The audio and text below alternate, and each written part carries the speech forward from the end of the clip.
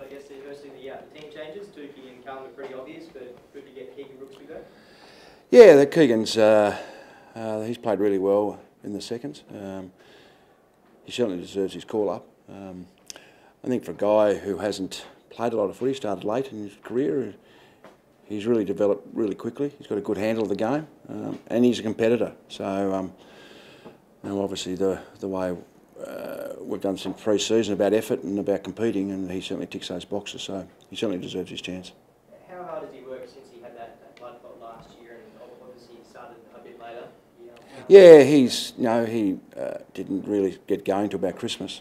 Um, but yeah, he's as I said, he's a competitor. So when you compete, you want to work hard and you want to do everything possible, and he's certainly done that. He's in, you know, he's improved in a lot of areas, and he's developed his game now that he can play in three different areas of the ground. He can play ruck, which is his main craft, uh, forward and back. So um, I, I think it's due credit to him.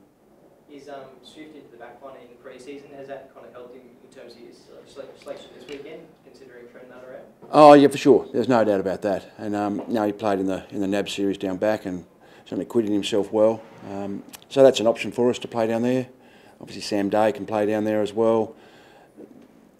I think Brisbane are a, a quick running side and a lot of smaller players, so that gives us an option maybe that you know we can play some tools, tools uh, forward and load that up. So it just gives us a bit of flexibility. Is, is there speed the thing that you're most sort of on guard about? Um, not so much speed. I think I think we've got some speed, so um, that's okay. I, I think looking at you know they've scored a lot.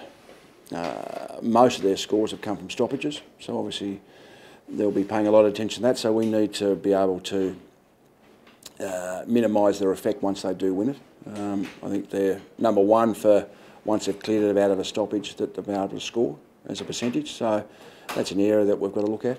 Just on uh, the aggression, Brisbane's mentioned a couple of times this week that they're going to be aggressive to maybe slow down Gary and that they should be following Mitch Robinson's lead. Yeah, I, I think that's very difficult in this day and age to anything to be untoward and uh, because uh, the way the rules are and the umpires obviously very vigilant in that area. Um, and the, I think the best way to be aggressive is at the footy, um, and I think we've got a lot of players who prove they can do that. Um, so, and the thing on Gary, I mean, he's been he's been tagged and double teamed his whole career, and it really hasn't worried him too much. So, if they want to focus on that, that's fine. So, but I think, having said that, I think it's going to be a hot game, especially early. I mean that uh, where we're sitting on the on the on the ladder, both teams. That you know, there's going to be a bit of pride, and obviously the rivalry is there as well. So. Um, I don't think our guys are going to under, underestimate Brisbane. Um, now they've got some talent and they'll be fired up on their, on their home ground. So we expect that, and um, I think we've just got to persevere, stick at it, and hopefully by the end of the game we're in front. Do you think it's laughable to suggest that you can be intimidated? Um, I, I think it's interesting where some teams you get a perception of others, and uh, I certainly don't think that our guys will be intimidated, um, to be honest. Um, May and Lynch aren't going to be, Gary's not going to be, um, Hall and, uh, sorry, Lonergan and Rischitelli Hall aren't going to be. Um, so there's some really, obviously talent, but I think I think we build our game on hard work and and at the contest. So uh, I don't think it's going to ruffle our feathers, to be honest. Do you feel um, feel like you need to tell your other mids just to block Gaz a little bit early, or you're not worried at all? You just go out and Oh no, I think I think as a team we've got to I think we've got to support each other. I think I think I think Gary's going to need support.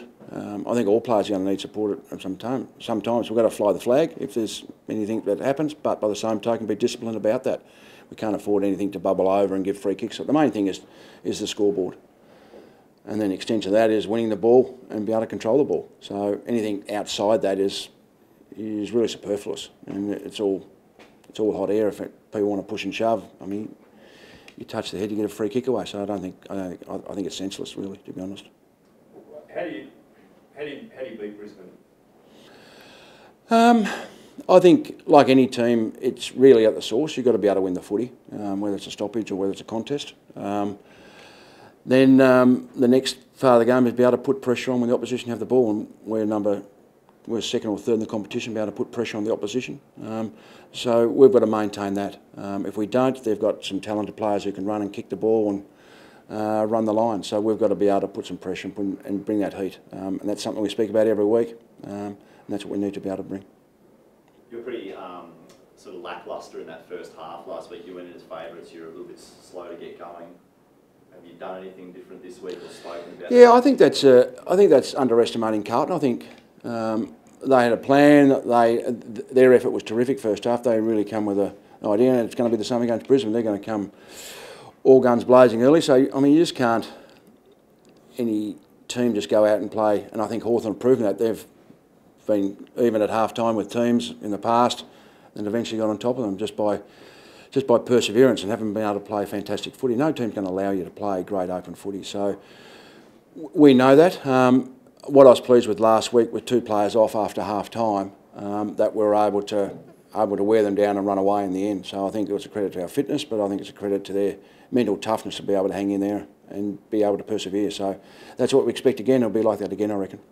Ronnie, it's still early in the season, but do you guys, you, you know, second on the ladder, do you see yourself as real championship contenders? Do you think you can sort of hold your position and Oh, it's very early. It's too early to even say that. I, Yeah. I don't think you really get an idea to each team plays each other. So, no, we're off to a bit of a start, which is, which is a real plus for us. But it's still early. It's only three games in, and we've got to play 22. So, um, you know, some teams turn halfway eight three, and then you get injuries and it drops away. So. We're still, I know it's a cliche, but you can't afford to get too far ahead of yourself. I mean, you know, we just have to worry about this week, win the game, um, and then we can move on to next week. Um, so we haven't even got any thoughts of grandeur at this stage.